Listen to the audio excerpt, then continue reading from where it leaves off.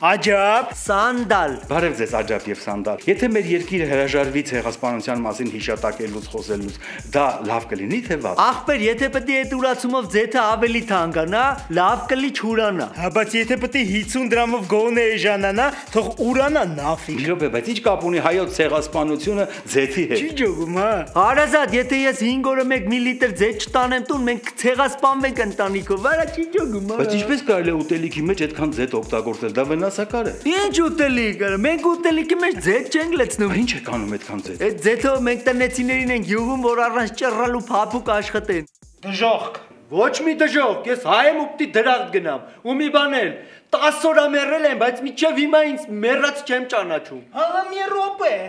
տիկին խաչկարանուշ տավարացավյան։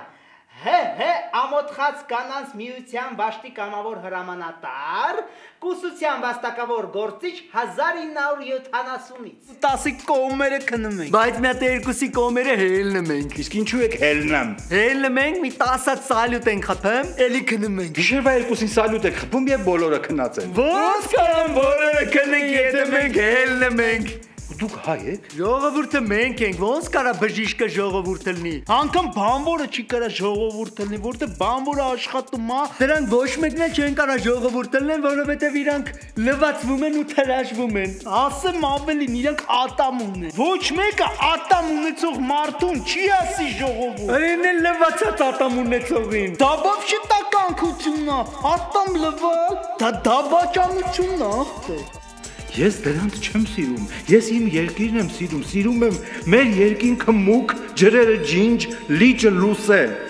Արևն ամրան ու ձմեռվա վիշապազային բուկը վսեմ, մթում կորած խրճիթների, անհյուրընկալ պատերը սև, ու հնամյա քաղաքների հազարամյա քարն եմ սիրում։